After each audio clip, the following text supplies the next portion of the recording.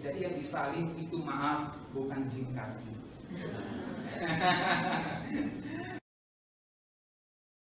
Shalom.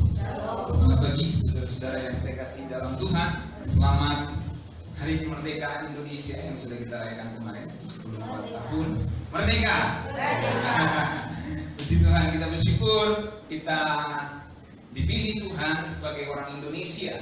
Kita tidak lahir sebagai bangsa yang lain, tetapi kita lahir sebagai bangsa Indonesia. Mungkin kita warga keturunan, tetapi kita semua adalah orang Indonesia dan kita bersyukur Tuhan memilih kita untuk menjadi umatnya sebagai bangsa Indonesia. Di seri yang ke-10 dari pelajaran kita tentang Allah Tritunggal ini, saya akan bawakan tema Allah sebagai Bapa. Saudara-saudara, bulan Agustus dalam gereja kita, dalam lingkungan gereja Kema Injil Indonesia atau GKII, ini biasanya disebut bulan misi. Jadi memang dihimbau oleh pusat bahwa setiap khotbah bertemakan penginjilan. Hanya saya karena sedang khotbah berseri, jadi saya tidak mengkhotbahkan soal yang menyangkut penginjilan, tapi saya berkhotbah tentang Allah Tritunggal. Tetapi baiklah pada pagi hari ini saya akan bawakan tema Allah Tritunggal ini dan saya akan implikasikan ke soal penginjilan. Salah satu praktek atau nilai dalam penginjilan yang perlu kita pahami. Allah sebagai Bapa. Pagi hari ini saya tidak bicara khusus soal pribadi Bapa. Saudara tahu kita sedang belajar Allah Tritunggal, jadi kita mesti pelajari Bapa, Anak, Roh Kudus secara detail. Tetapi pagi hari ini saya tidak bicara soal pribadi Bapa, walaupun pasti akan menyinggung ke situ. Kalau kita bicara Allah sebagai Bapa, pasti akan menyinggung soal pribadi Bapa. Tetapi tidak khusus bicara soal pribadi Bapa, saya akan bicara soal Allah sebagai Bapa. Jadi saya harap saudara bisa membedakan Allah sebagai Bapa dengan pribadi Allah Bapa. Itu dua hal yang berbeda kalau kita membahas soal Allah Tritunggal. Baik, saya mulai dengan pertanyaan ini. Mengapa Allah disebut sebagai Bapa? Untuk menjawab pertanyaan ini kita mesti ngerti dulu apa arti Bapa di dalam Alkitab. Ya, ada banyak arti Bapa dalam Alkitab dan mari kita mulai membahasnya. Dalam bahasa Ibrani kata Bapa adalah Ab. Ya, kalau bahasa Arab Abba. Ini Ab, Abi. Merupakan kata benda atau non maskulin yang digunakan sekitar kurang lebih 1136 kali dalam perjanjian lama. Jadi cukup banyak. Tetapi yang menyinggung kepada Allah sebagai Bapa itu kurang lebih 16 kali saja. Nah, dalam bahasa Yunani artinya di perjanjian baru kata Bapa itu adalah pater.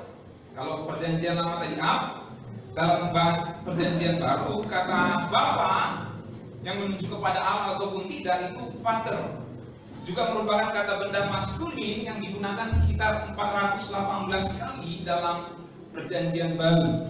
Data ini saya ungkapkan untuk uh, membuat saudara mengerti bahwa saya sungguh-sungguh belajar ini dan uh, mempertimbangkan banyak hal ketika saya hendak menyampaikan ini. Next. Nah, kalau saudara membaca atau uh, menyelidiki kamus-kamus dictionary, berbagai dictionary atau ensiklopedia tentang ab dan pater ini, ab dalam perjanjian lama, bapak di perjanjian lama dan bapak di perjanjian baru yaitu pater, itu mempunyai banyak sekali pengertian. Ya. Dan dari satu kamus saja itu sudah bisa didefinisikan sembilan pengertian. Misalnya Brown Driver uh, Dictionary itu sudah ada sembilan pengertian. Belum lagi dari Fine, dari Word Study, dari Strong, ada banyak sekali pengertian dari banyak kamus, dari banyak dictionary standar untuk belajar Alkitab. Tetapi saya akan rangkumkan pada pagi hari ini dari e, jadi enam. Tentu ada banyak lagi sebenarnya, tetapi menyinggung soal Allah sebagai Bapa ini saya akan berikan kepada saudara enam saja definisi Bapa dari kata ab dan pater.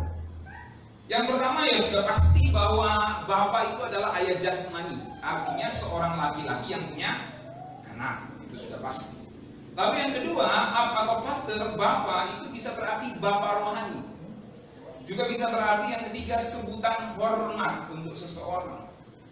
Lalu bisa berarti penasehat, bisa berarti leluhur atau nenek moyang dan saudara perlu ngerti bahwa kata nenek moyang dalam perjanjian lama maupun perjanjian baru itu adalah kata yang sama dengan bapak, ab atau pater. Jadi kalau saudara temukan kata nenek moyang itu dalam bahasa Inggris pasti father atau fathers atau grandfathers atau great grandfathers ya, kakek buyut. Jadi bapak dalam alam pikir bahasa Ibrani maupun Yunani leluhur nenek moyang atau kepala atau sumber atau first man orang yang pertama dari suatu bangsa dari suatu dinasti dari suatu keluarga kaum atau klan klan yang keenam bapak juga bisa berarti pencetus pelopor suatu profesi suatu seni yang atau seorang yang pertama kali melakukan Mari kita lihat contoh-contoh ayatnya. Yang pertama ab dan pater. Saya berharap saya tidak terlalu cepat, amin. Bisa ikutin ya. Ya. Nanti saudara dengar rekamannya kalau rasa terlalu cepat supaya kita singkat saja. Ya. Ab dan pater, ayat jasmani, ya sudah jelas banyak ayatnya. Saya kasih satu contoh, kata ab pertama, kata bapak pertama muncul dalam Alkitab di perjanjian lama, itu di kejadian 2 ayat 24, kita baca bersama. Sebab itu seorang laki-laki akan meninggalkan ayahnya, abnya, ayahnya dan ibunya dan bersatu dengan istrinya sehingga keduanya menjadi satu daging. Menarik juga kata satu kita sudah pelajari di situ adalah e, ya, satu kesatuan. Nah, jadi memang ayah itu berarti eh, bahwa secara jasmani ab maupun pater dalam perjanjian baru. Kemudian ab dan pater ya bisa berarti bapak rohani kita lihat contohnya 1 Korintus 4 ayat 15, kita baca 1 2 3. Sebab sekalipun kamu mempunyai beribu-ribu pendidik dalam Kristus, kamu tidak mempunyai banyak bapa. Karena akulah yang dalam Kristus Yesus telah menjadi bapamu oleh Injil yang kuberitakan kepadamu. Jadi Bapa dalam Alkitab, dalam hal ini Pater, perjanjian baru bisa berarti Bapa secara rohani. Artinya orang yang mendidik saudara pertama kali dalam Injil. Siapa yang pertama kali memperkenalkan Kristus kepada saudara, dialah yang bisa disebut sebagai Bapak Rohani. Ya. Kalau bahasa kepemimpinannya mentor. Roma 4 ayat 11 kita baca. Dan tanda sunat itu diterimanya sebagai meterai kebenaran berdasarkan iman yang ditunjukkannya sebelum ia bersunat itu Abraham. Demikianlah ia dapat menjadi bapa semua orang percaya yang tak bersunat supaya kebenaran diperhitungkan kepada mereka. Jadi Abraham itu dia beriman sebelum dia disunat. Ya. Sunat hanya meneguhkan perjanjian yang dibuat Allah dengan Abraham, tetapi bukan sebagai tanda bahwa ia beriman.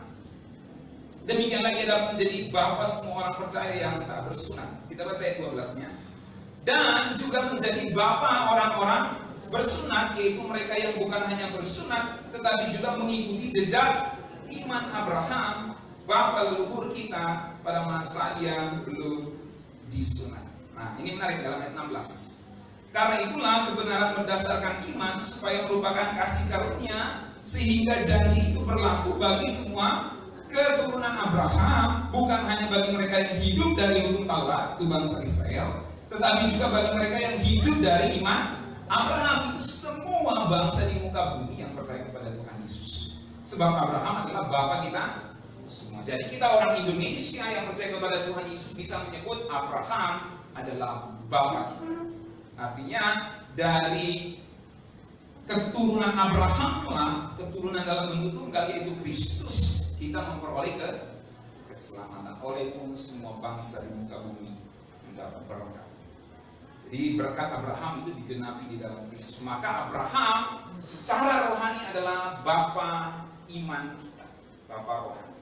Nah, siapa yang memperkenalkan Kristus, memperkenalkan kebenaran kepada saudara pertama kali, dialah bapa rohani saudara. Atau siapa yang mementor saudara selama ini, dialah bapa rohani saudara.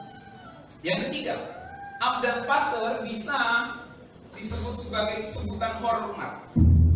Mari kita baca Hakim-Hakim 17 ayat 10 yang bisa menjangkau katanya di slide kita baca bersama-sama. Lalu kata Mika kepadanya, tinggallah padaku dan jadilah bapak dan imam bagiku. Maka setiap tahun aku akan memberikan kepadamu 10 uang perak, sepasang pakaian serta makananmu. Jadi perhatikan kalau saudara baca konteksnya itu menarik. Saat itu bangsa Israel itu benar-benar kehilangan, benar-benar kehilangan iman mereka kepada Tuhan yang benar. Jadi mereka menyembah Tuhan dengan cara-caranya sendiri. Mereka buat kuil, mereka buat berhala di situ, buat patung, lalu mereka bayar imam, bayar seseorang untuk jadi imamnya. Bahkan Mika kalau sudah baca konteks ini, bukan Nabi Mika, Mika yang lain, Mika di sini dia membuat anaknya menjadi imam. Lalu suatu kali Mika bertemu dengan orang Lewi. Dan ketika dia bertemu dengan orang Lewi, dia ngomong sama orang Lewi, tinggallah padaku, jadilah bapak dan imam bagi kau. Saudara bayangkan ya.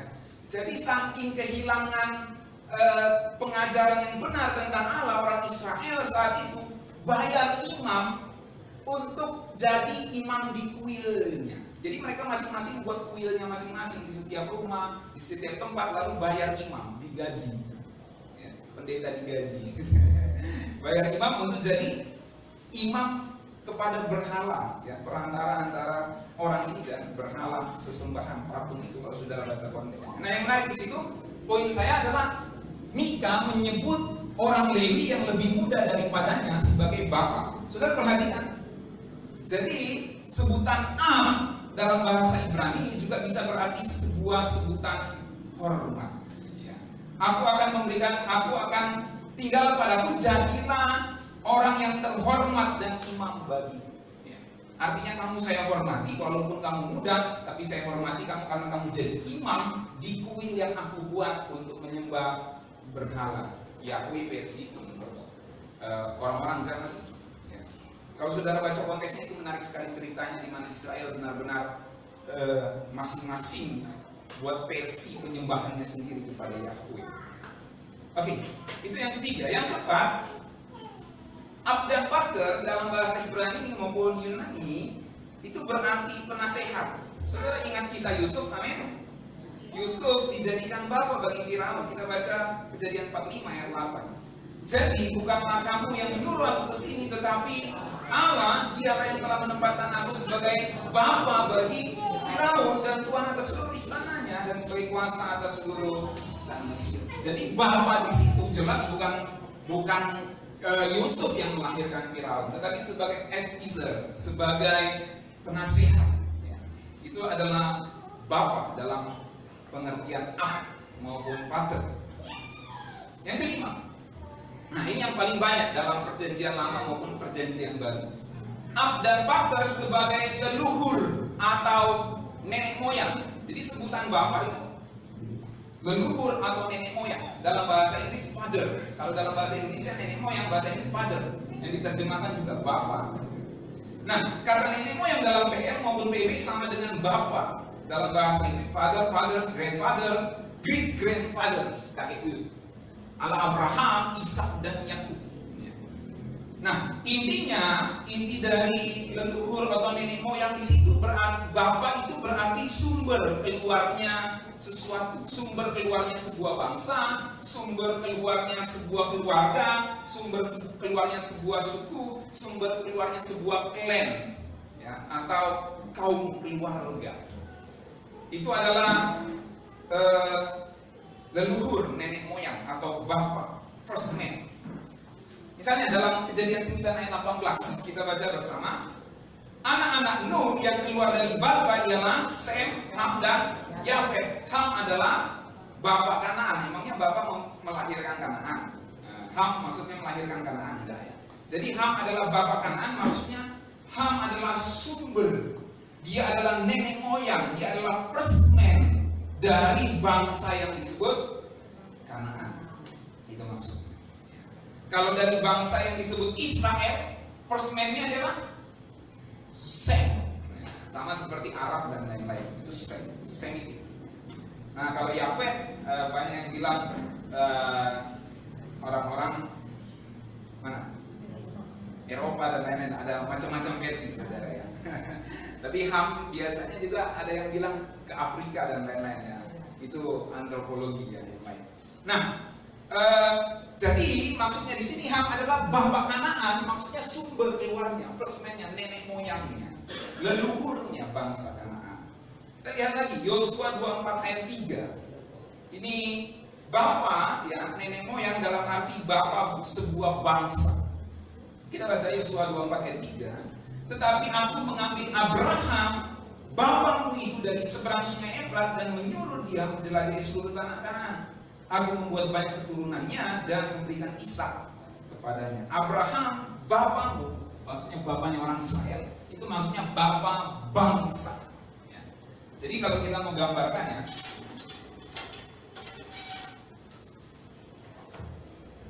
jadi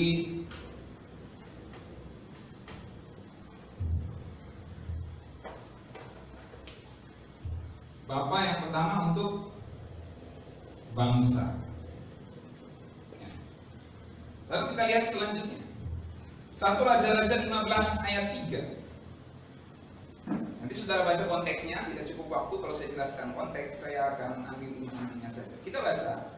Abia hidup dalam segala dosa yang telah dilakukan ayahnya sebelumnya dan ia tidak dengan sepenuh hati berpaut kepada Tuhan Allahnya seperti Daud moyangnya. Nah, moyangnya di situ Ab, bapak moyangnya seperti Daud bapaknya. Apakah anaknya Daud itu Abiam? Tidak. Ya, itu keturunannya. Ya. Maka dalam ini dalam konteks kerajaan. Kalau saudara baca sebelumnya, yaitu soal raja-raja kerajaan, maka moyangnya di situ bapak bisa berarti dinasti. Ya. Jadi Ab dalam bahasa Ibrani itu dinasti. Moyangnya dalam konteks ini. Kemudian, satu Raja-Raja 15 oh, ini sudah tadi ya. Nah, ini dia konteks kerajaan. Kita perhatikan. Mas. Kemudian satu Tawarik 24 ayat 19. Ini saya bawa saudara studi kata dulu ya. Satu dua tiga. Itulah jabatan mereka dalam menyelenggarakan ibadah setelah mereka masuk rumah Tuhan. Maksudnya ini orang-orang ini. Sesuai dengan peraturan yang diberikan kepada mereka dengan perantaraan Harun bapak leluhur mereka. Jadi ab mereka, bapak leluhur mereka seperti yang diberitakan kepadanya oleh Tuhan Allah Israel. Nah, di situ bapak dari kelompok ya, kelompok atau suku bisa. Tapi ini lebih kepada kelompok, kelompok Lewi. Ya. Lalu selanjutnya Yosua 19 ayat 47 karena daerah Bani dan telah menjadi terlalu sempit untuk mereka, maka berjalanlah Bani dan itu maju dan berperang melawan kota Lesem.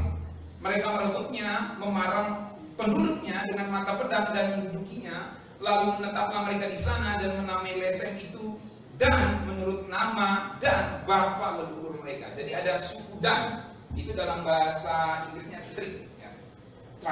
Jadi suku menurut nama bapak leluhur mereka. Jadi ini bisa bapak dari suku, ya. suku dan leluhurnya. Kemudian Yeremia 35 ayat 6. Nah ini yang terakhir, ini klan. Ya. Keluarga, kaum keluarga, jadi agak lebih kecil dari suku. Kita baca Yeremia 35 ayat 6. Tetapi, tetapi mereka menjawab, kami tidak minum anggur sebab Yonadab bin Rekab, bapak leluhur kami, telah memberi perintah kepada kami, katanya, janganlah kamu atau anak-anakmu pun minum anggur sampai selama-lamanya. Jadi Yonadab bin Rekab, bapak leluhur kami. Itu maksudnya dalam arti klan, ya. keluarga, kaum keluarga. Jadi dalam satu suku, dalam satu suku, misalnya suku Batak kalau di Indonesia, ada lagi klan, misalnya klan Panjaitan, klan Siregar, mungkin seperti FAM kalau orang Batak, mungkin seperti itu. Jadi ada klan-klan lagi, ya. Ada FAM-FAM lagi, kira-kira kalau di Indonesia, ya. kaum keluarga. Tapi ada suku yang di atasnya. Nah, dalam hal ini Yonada bin Rekab itu adalah bapak leluhur, artinya orang pertama dalam klan ini.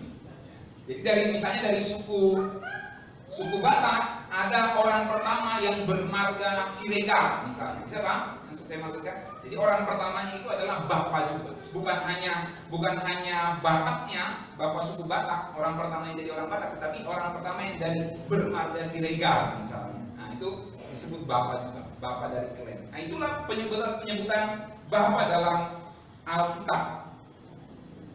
Nah, kemudian oke, okay, saya simpan ini.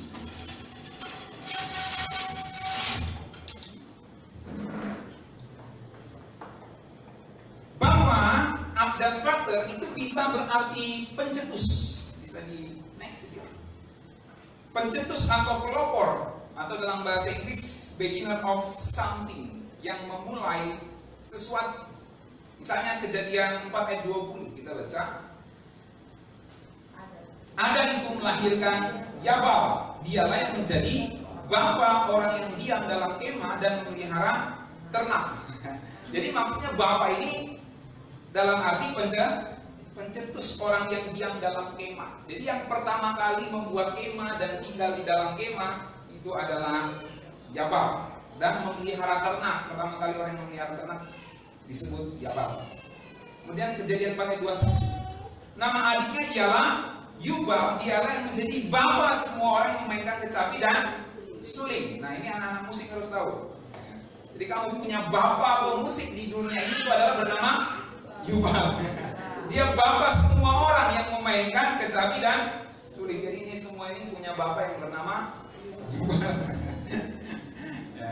Kemudian kejadian 4 ayat 22. Zila juga melahirkan anak yakni Tubal Kain, bapak semua tukang tembaga dan tukang besi.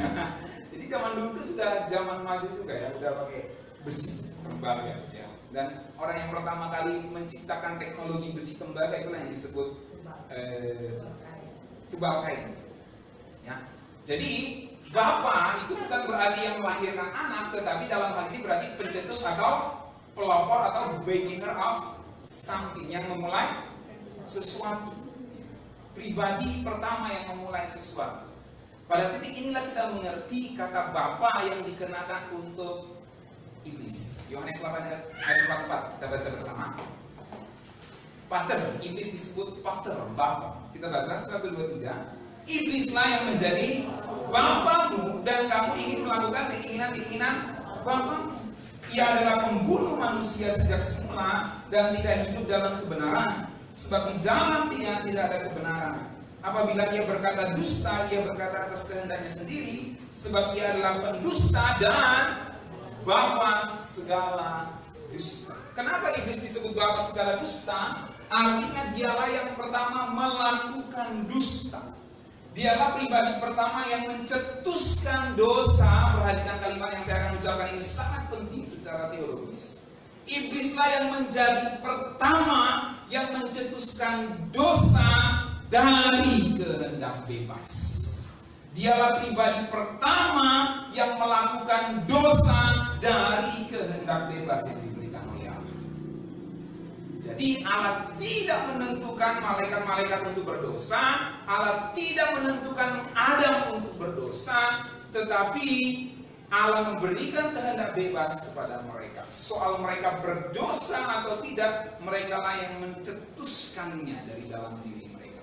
Dalam hal ini Alkitab mencatat bahwa iblis disebut bapa segala dosa. Artinya dalam hal ini dia adalah pencetus dosa dari kehendak bebas yang diberikan oleh Allah. Kehendak bebas itu netral. Ya. Dia bisa bisa dipakai untuk sesuatu yang baik, bisa dipakai untuk sesuatu yang tidak baik. Tetapi iblis menggunakan itu untuk sesuatu yang tidak baik. Makanya dia adalah pencetus orang yang pertama kali melakukan dusta atau dosa. Jadi tidak benar kalau ada pemahaman yang mengatakan Allah itu menentukan iblis untuk berdosa dan menentukan Adam untuk berdosa. Ya, tidak benar seperti itu.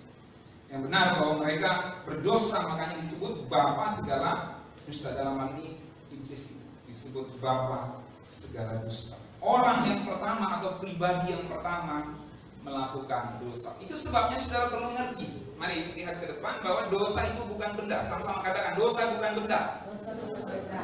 Tapi dosa itu sesuatu yang dilakukan bukan benda. Tetapi dia sesuatu yang dilakukan.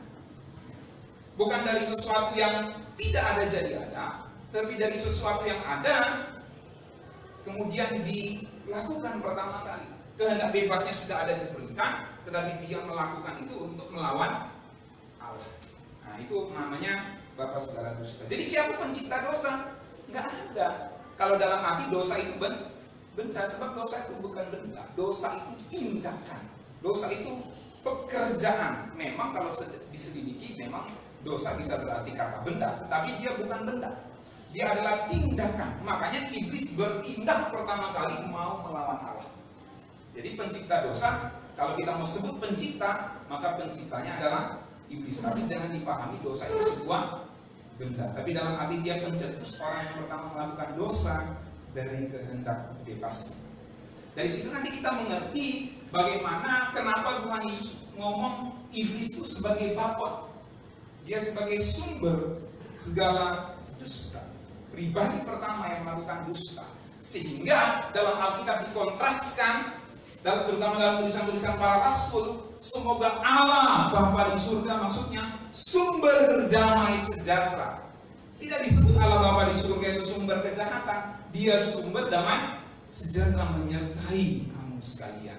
Kasih karunia dari Allah Bapa kita, sumber damai sejahtera, sumber segala kebaikan, sumber segala terang. Ya. Bahkan seluruh anugerah yang sempurna itu datangnya dari Bapa segala terang kata kitab Yakobus. Jadi Bapa itu sumber yang baik, bukan sumber yang buruk. Dan iblis dipersonifikasi atau digambarkan sebagai sumber yang buruk, yaitu Bapa segala dusta. Itu maksud. Nah, dari sini kita mengerti bahwa Alkitab menyebut dan mengajarkan Allah sebagai Bapa. Dari dari sini kita mengerti Allah sebagai Bapa itu sumber segala yang baik, bukan sumber segala yang jahat. Dalam perjanjian lama, Allah sebagai Bapa itu dalam PL sekitar 16 kali. Dalam PB sudah jelas banyak sekali sebab Tuhan Yesus datang memperkenalkan Allah sebagai Bapa. Next. Kita lihat ulangan 3 ayat 6 ya. Soal Allah sebagai Bapa. Kan tadi soal Bapa, arti Bapa sekarang Allah sebagai Bapa. Kita baca yang bisa menjawab 1 2 3. Demikianlah engkau mengadakan pembalasan terhadap Tuhan. Perhatikan Tuhan, Yahweh. Hai bangsa yang bebal dan tidak bijaksana. Bukankah ia Bapamu yang mencipta engkau, yang menciptakan dan menegakkan engkau. Jadi Tuhan, Yahweh. Elohim itu Yahweh kita, Elohim itu Eka. Elohim itu Yahweh, artinya para Allah itu Yahweh. Bapa anak roh kudus itu Yahweh. Dan dia disebut sebagai Bapa yang mencipta dalam hal ini Allah sebagai Bapa bukan hanya soal pribadi Bapaknya, tetapi Bapa, Anak dan Roh Kudus itu disebut sebagai Bapa. Bapa. Itu sebab dari awal saya saya katakan saya tidak bicara khusus soal pribadi Bapa, tapi saya bicara soal Allah sebagai Bapa. Kalau bicara pribadi Bapa itu pribadi Bapa saja, bukan pribadi Anak dan Roh Kudus. Kalau bicara Allah sebagai Bapa, maka itu bicara keseluruhan Allah Tritunggal, Bapa, Anak, Roh Kudus disebut sebagai Bapa. Bapa pencipta. Dalam hal ini Bapa disebut sebagai pencipta. Yahweh itu Bapa Ab kita, pencipta. Oke, okay, next. Allah sebagai Bapa, ayat yang kedua di Yesaya 63 ayat 16. Kita baca, Bukankah engkau Bapa kami? Sungguh Abraham tidak tahu apa-apa tentang kami dan Israel tidak mengenal kami. Ya Tuhan, engkau sendiri Bapa kami, namamu ialah penebus kami sejak dahulu Perhatikan Yahweh itu penebus, Bapa, Anak, Roh Kudus itu penebus. Dan itu sejak dahulu kala. Jadi memang Allah sebagai Bapa artinya dia adalah penebus. Next. Nanti kalau saudara pahami maksudnya Allah sebagai Bapa di sini, saudara bisa melihat rangkaian karya keselamatan dengan Allah Tritunggal ini, saudara. Yesaya 64 ayat 8. Tetapi sekarang ya Tuhan, Engkaulah Bapa kami. Kamilah tanah liat dan Engkaulah yang membentuk kami. Dan kami sekalian adalah buatan tangan. Jadi Allah sebagai Bapa diperkenalkan dalam perjanjian lama dengan kata Ab itu adalah berarti sebagai pencipta umat manusia. Kesimpulan dari ulangan dan Yesaya, Bapa itu Yahweh, itu penebus, itu pencipta. Oke, okay, next. Kita lihat kelompok ayat berikutnya. Yeremia 3 ayat 19. Tadinya pikirku, sungguh aku mau menempatkan engkau di tengah-tengah anak-anakku dan memberikan kepadamu negeri yang indah, milik pusaka yang paling permai dan bangsa-bangsa. Pikirku, engkau akan memanggil aku Bapakku dan tidak akan berbalik dari mengikuti aku. Saudara lihat bahwa perjanjian lama sudah memperkenalkan Allah sebagai Bapa. Bukan cuma perjanjian baru. Tidak heran kalau Tuhan Yesus datang di perjanjian baru, dia menyebut Bapamu yang surga. Karena memang Allah sudah diperkenalkan sebagai Bapa. Yeremia 31 ayat 9. Dengan menangis mereka akan datang, dengan hiburan aku akan membawa mereka, aku akan memimpin mereka ke sungai-sungai di jalan yang rata, di mana mereka tidak akan tersandung, sebab aku telah menjadi Bapak Israel, Efraim adalah anak sulungku. Jadi memang Israel disebut sebagai anak dari Bapak di sorga. Nah, Yeremia 3 ayat 4 dan 5. Dari sini kita akan ambil pelajaran yang penting. Satu, dua, tiga. Bukankah baru saja engkau memanggil aku Bapakku? Engkaulah kawanku sejak kecil. Untuk selama-lamanya kan ia akan murka atau menaruh dendam untuk seterusnya. Demikianlah katamu, namun engkau sedapat-dapatnya melakukan kejahatannya. Ini agak sulit kalau kita baca dalam terjemahan biasa. Kita lihat terjemahan bahasa Indonesia sehari. Satu, dua, tiga. Di waktu kesukaran itu, engkau berkata kepadaku bahwa aku bapakmu, bahwa aku mengasihi engkau sejak engkau kecil. Engkau berkata juga bahwa aku tidak akan terus-menerus marah kepadamu. Jadi Israel, engkau bapakku, engkau tidak akan terus-menerus marah kepadaku. Itulah yang kau katakan, hai Israel. Tetapi sementara itu kau lakukan juga segala kejahatan yang dapat kau kau lakukan. Dia sebut Allah sebagai Bapa yang mengasihinya sejak kecil, tapi pada saat yang sama Israel terus melakukan kejahatan di hadapan Bapa yang mengasihinya sejak kecil. Saya perhatikan dari sini kita dapat pelajaran penting. Kalau kita panggil Allah sebagai Bapa, jangan terus-menerus lakukan kejahatan. Katakan amin. Allah adalah Bapa kita. Allah sebagai Bapa kita. Jangan terus lakukan kejahatan. Itulah sebabnya dalam perjanjian baru. Allah disebut Pater. 1 Petrus 1 ayat 17 kita baca. Dan jika kamu menyebutnya Bapa, Pater, yaitu dia yang tanpa memandang muka menghakimi semua orang menurut perbuatannya, maka hendaklah kamu hidup dalam ketakutan selama kamu menumpang kita punya rumah di surga, amin. Rumah Bapa kita. Jangan terus-menerus melakukan kejahatan. Kalau kita panggil dia Bapa, mari kita bertobat dari segala kejahatan. Malikat 1 ayat 6. Malikat 1 ayat 6. Kita baca yang bisa menjangkaunya. Seorang anak menghormati bapaknya dan seorang hamba menghormati tuannya. Jika aku ini bapa, di manakah hormat yang kepadaku itu? Jika aku ini tuan, di manakah takut yang kepadaku itu? Saudara perhatikan, Tuhan kasih firman, dia pakai analogi dulu. Seorang anak menghormati bapak, seorang hamba menghormati tuan. Kalau aku bapak, di mana hormatmu kepada? Kalau aku tuan, di mana takutmu kepada?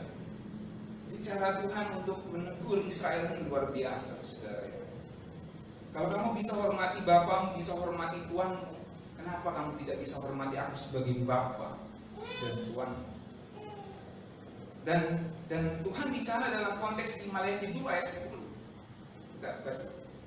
Bukankah kita sekalian mempunyai satu Bapa? Bukankah satu Allah menciptakan kita? Lalu mengapa kita berkhianat satu sama lain dan dengan demikian menajiskan perjanjian nenek moyang kita? Ini Tuhan sedang bicara tentang kesetiaan seorang suami kepada istri.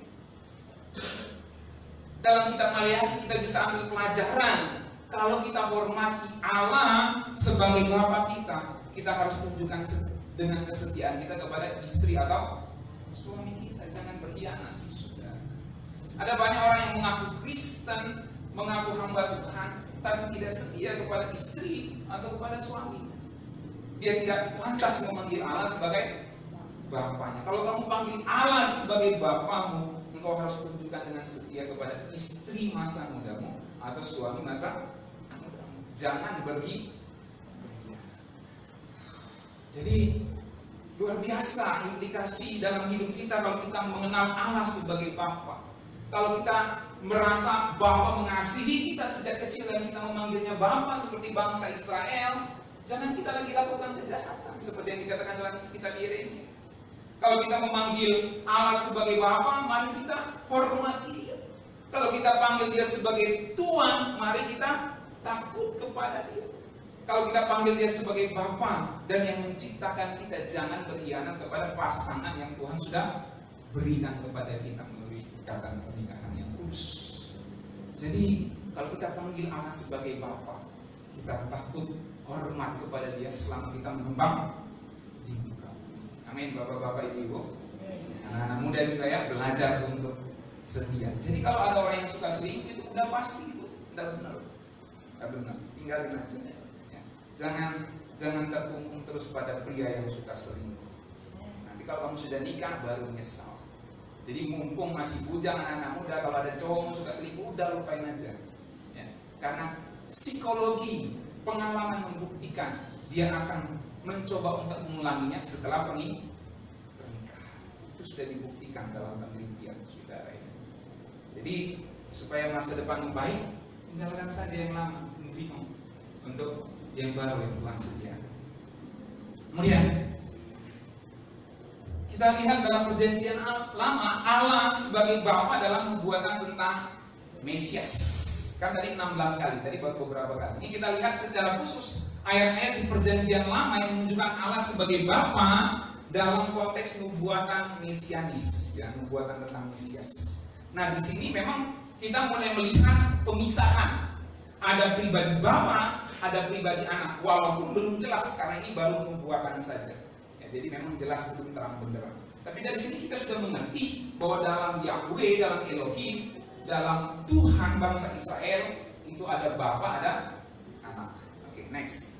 Kita lihat contoh ayatnya 2 Samuel 7 ayat 14. Kita baca. Nanti saudara baca konteksnya ya. Kalau saya jelaskan konteks nggak cukup waktu. Satu, dua, tiga. Aku akan menjadi bapaknya dan ia akan menjadi anakku. Apabila ia melakukan kesalahan, maka aku akan menghukum dia dengan rotan yang dipakai orang dan dengan pukulan yang diberikan anak-anak manusia. Jadi saat itu Tuhan berkata kepada Daud bahwa aku akan menjadi bapaknya. Jadi keturunan Daud itu akan dijadikan anaknya Bapa di sorga dan itu menunjuk kepada Mesias. Kemudian kita pahami sebagai Mesias.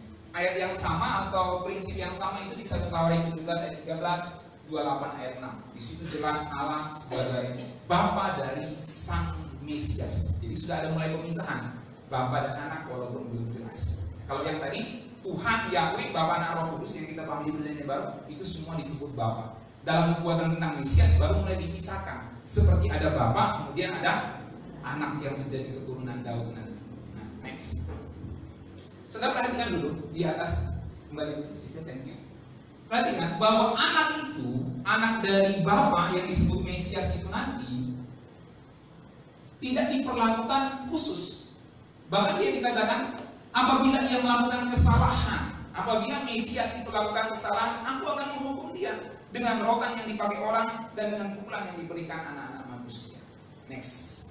Ini menunjukkan bahwa tidak ada kekhususan untuk Yesus sebagai Mesias manusia.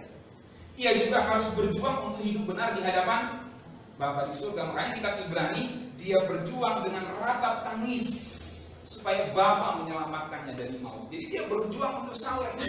Itu sebabnya dalam Ibrani 2 ayat 17 dikatakan, itu sebabnya maka dalam segala hal ia sang anak yang dijanjikan Bapa kepada Daud itu, Mesias itu harus disamakan dengan saudara-saudaranya supaya ia menjadi imam besar yang menaruh belas kasihan dan yang setia kepada Allah untuk mendamaikan dosa seluruh bangsa dan puji Tuhan Alkitab katakan bahwa Yesus dalam segala hal tidak melakukan kesalahan, tidak ada dosa dalam dirinya. Jadi yang disalib itu maaf bukan jin kafir.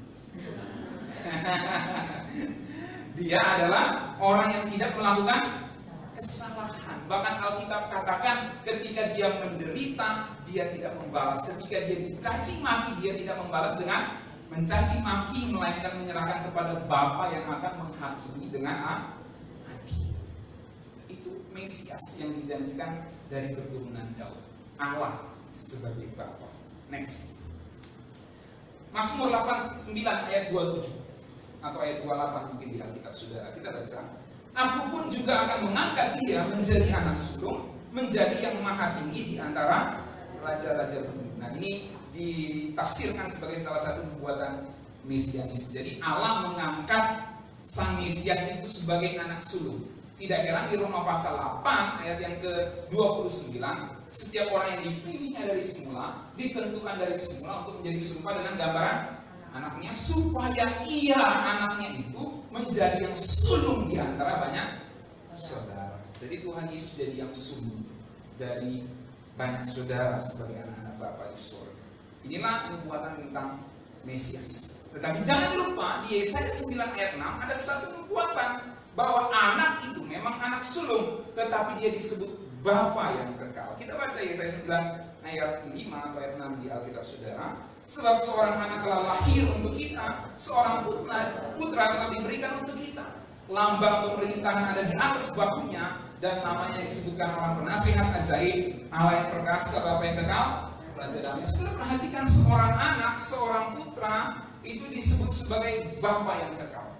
Itu sebabnya anak ini, ya, Mesias ini bukan hanya manusia, tetapi dia disebut anakku, kata Allah sebagai Bapa.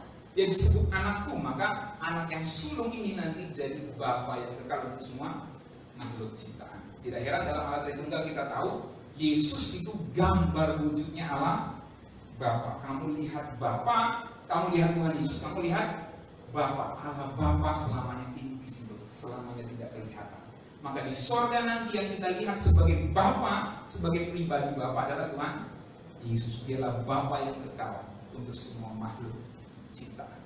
Pada satu perspektif kita tahu bahwa dia adalah saudara yang sulung karena dia juga dalam hubungannya dengan alat Tritunggal dengan Allah Bapa di sorga dia disebut Bapa. Bahkan Tuhan Yesus menyebut Bapa sebagai Allahnya dan Allah dalam perjanjian baru Allah Bapa disebut sebagai Allah dari Tuhan. Nah itu kita akan pelajari nanti di pribadi Bapa, pribadi, pribadi anak, pribadi Roh Kudus. Tapi dalam hal ini poin yang saya mau sampaikan bahwa anak disebut Bapa yang Next. Nah, dari sini kita bisa simpulkan. Dalam perjanjian lama, Allah sebagai Bapa, Bapa, kemudian kita teropong pada dengan perspektif perjanjian baru. Allah sebagai Bapa di perjanjian lama bisa menunjuk pada tiga pribadi yaitu Bapa, Anak dan Roh Kudus. Sebab disebut Tuhan Yahweh itu sebagai Bapa dari Israel. Kemudian dalam perjanjian baru Allah sebagai Bapa banyak menunjuk kepada pribadi Bapa. Jadi saudara bisa bedakan. Di perjanjian lama, Allah sebagai Bapa itu menunjuk pada tiga pribadi Yahweh. Di perjanjian baru, Allah sebagai Bapa memang lebih banyak menunjuk kepada pribadi Allah, Bapa bukan pribadi A, anak. Bisa paham? Bisa bedakan? Jadi dalam perjanjian lama, Bapa Anak Roh Kudus itu Allah sebagai Bapa. Dalam perjanjian baru dibedah, dipisahkan ada pribadi Bapak, ada pribadi anak. Tapi jangan lupa bahwa buatan tentang Mesias, anak ini disebut Bapak yang kekal. Tidak heran Tuhan Yesus ngomong, kamu lihat aku, kamu lihat Bapak. Tidak heran di sorga nanti ada dua tata. Tata Allah, tata anak domba. Tapi yang dilihat satu wajah, wajah tunggal. Pasti wajahnya Tuhan Yesus, bukan wajahnya Allah. Itu luar biasa kebenaran ini, saudara. Jadi memang Allah Bapa itu Allah sebagai Bapa dalam perjanjian baru memang menunjuk lebih menunjuk kepada pribadi Bapa. Tidak heran kalau ada seorang pendeta yang mengatakan Bapa itu menunjuk pada Allah, ya Allah Bapa saja, ya. itu itu betul karena memang pribadi Allah Bapa dalam perjanjian baru itu spesifik. Allah sebagai Bapa itu menunjuk kepada pribadinya Bapa, bukan pribadinya anak. Tapi jangan lupa bahwa anak juga disebut Bapa yang Nah, next. Tidak heran. Dalam perjanjian baru sudah mulai terpisah Bapa Anak Roh Kudus. Dan kita menemukan itu contohnya di Yohanes 3 ayat 16. Kita baca, karena begitu besar kasih Allah itu Bapa akan dunia ini sehingga dia telah mengaruniakan anaknya yang tunggal Tuhan Yesus supaya setiap orang yang percaya kepadanya kepada Tuhan Yesus tidak binasa melainkan beroleh hidup yang jadi memang karakter Bapa di sini digambarkan sebagai pribadi yang mengaruniakan anaknya yang tunggal. Allah sebagai Bapa punya karakter mem memberi. Apa karakter Bapa lagi yang diungkapkan dalam perjanjian baru? Tentu banyak, saya akan bahas dan closing di penjelasannya. Dalam Lukas 15 ayat 11 sampai 32, kita tahu semua cerita atau ada perumpamaan tentang anak yang yang hilang. Nah, saya tidak akan ceritakan semuanya, tapi saudara bisa lihat di Lukas 15 ayat 12 bahwa Allah sebagai Bapa digambarkan sebagai karakter yang menghormati kehendak bebas manusia. Saat si bungsu meminta harta yang jadi haknya, maka Bapak mem memberikannya. Mari kita baca Lukas 15 ayat 12. Saya dorong saudara buka Alkitabnya semua. Saya tidak taruh di slide supaya saudara tidak sia-sia install Alkitab di HP saudara dan tidak sia-sia bawa Alkitab buku bagian bawa Alkitab buku. Ya. Lukas 15 ayat 12.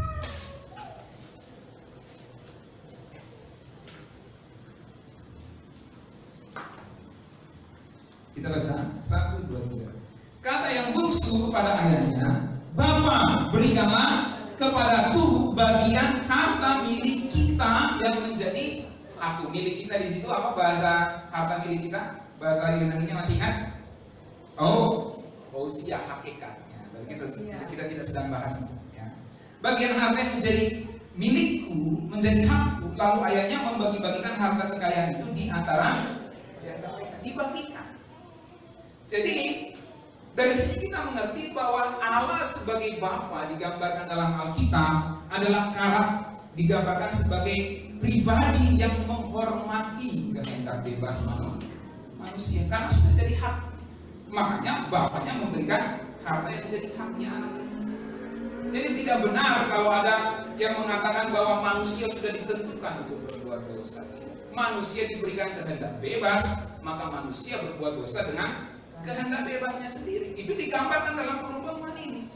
Bahwa bahwa manusia diberikan kehendak bebas sama seperti Allah punya kehendak bebas. Maka manusia mem meminta atau mengambil kehendak bebasnya untuk berbuat jahat. Adam, kalau kamu makan buah ini, kamu akan mati. Kalau diperingati artinya jangan makan. Artinya aku mau kamu jangan makan. Tapi kamu makan, ya sudah kamu berbuat dosa. Jadi kehendak bebasmu yang bikin kamu berdosa, bukan karena aku yang tentukan kamu berbuat dosa dalam takdir yang tidak kamu ketahui. Tidak seperti itu Allah Bapa. Karena memang Bapa digambarkan sebagai pribadi yang menghormati kehendak bebas manusia. Itu sebabnya dia menunggu pertobatan dari sang anaknya. Ya. Allah sebagai Bapa digambarkan sebagai karakter yang setia menunggu pertobatan manusia. Waktu anaknya datang, ia kembali menyambut anaknya. Mari kita baca dalam ayat yang ke kalau kita saudara.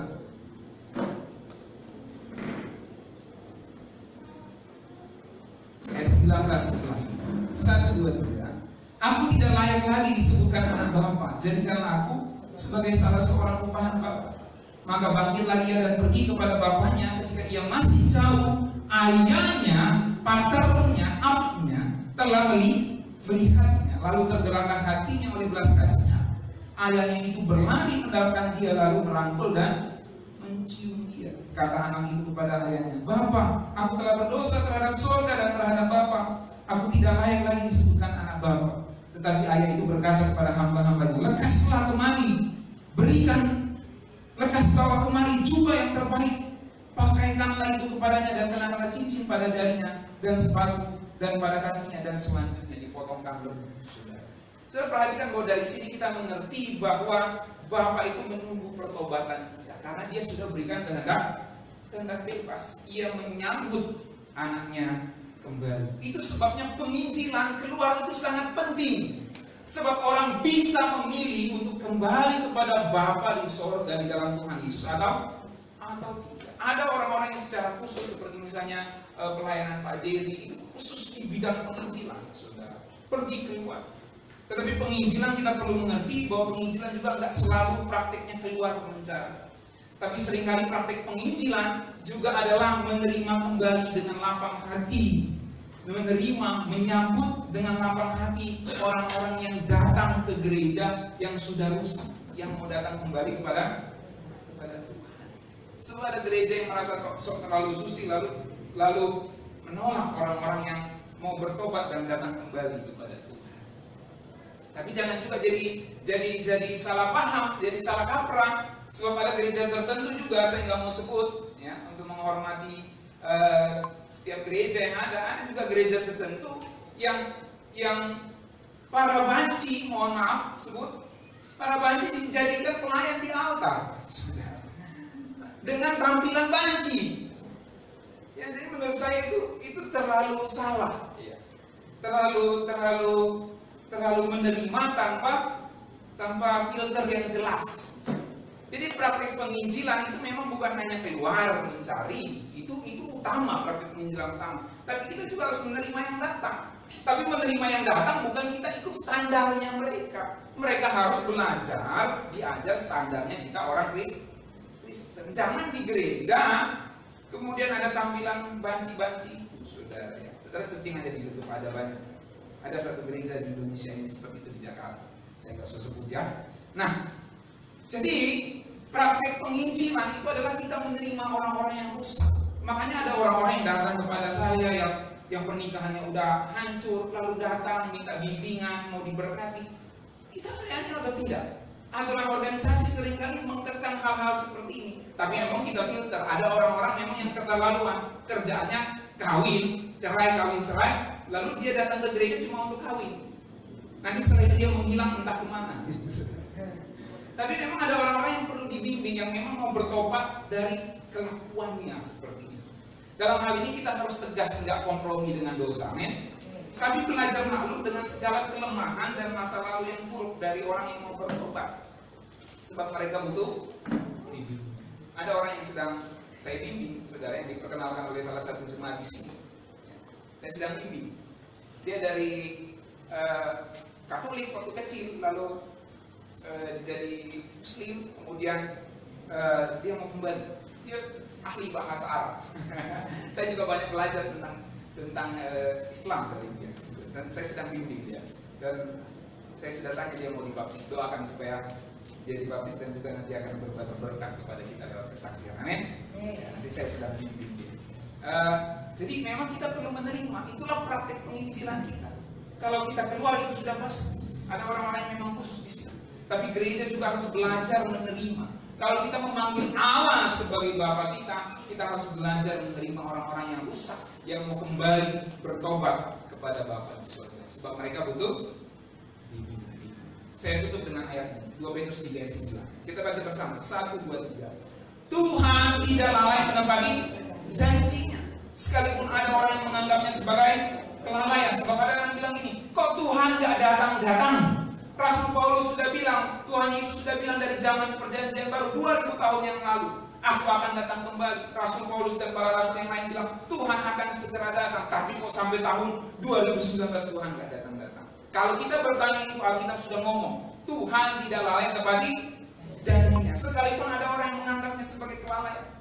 Kalau Tuhan belum datang saat ini, Alkitab katakan, ia sabar terhadap kamu, karena ia menghendaki supaya jangan ada yang binasa mereka supaya semua orang berbalik dan Tuhan kita pasti datang yang kedua kali. Amin. Kapan datangnya kita tidak tahu, tetapi yang terpenting yang kita lakukan adalah kita membimbing orang-orang untuk bawa kepada Kristus dan kita menerima mereka apa adanya tanpa kompromi dengan dosanya, tetapi memaklumi semua kelemahan masa lalu. Saudara diberkati sampai sini, amin. Allah sebagai Bapa kita. Untuk diri kita jangan lakukan lagi kejahatan untuk diri kita, mari setia kepada pasangan. Dan dan untuk orang lain, mari kita belajar terima dia apa adanya. Belajar maklum. Sebab Allah adalah Bapa kita yang menciptakan kita dan menciptakan mereka juga. Amin. Saya akan jelaskan soal Bapa lagi minggu depan lebih detail saudara akan memberkati dengan lebih dalam lagi kebenaran. Saudara belajar sesuatu sampai sini, amin. Mari kita berdoa.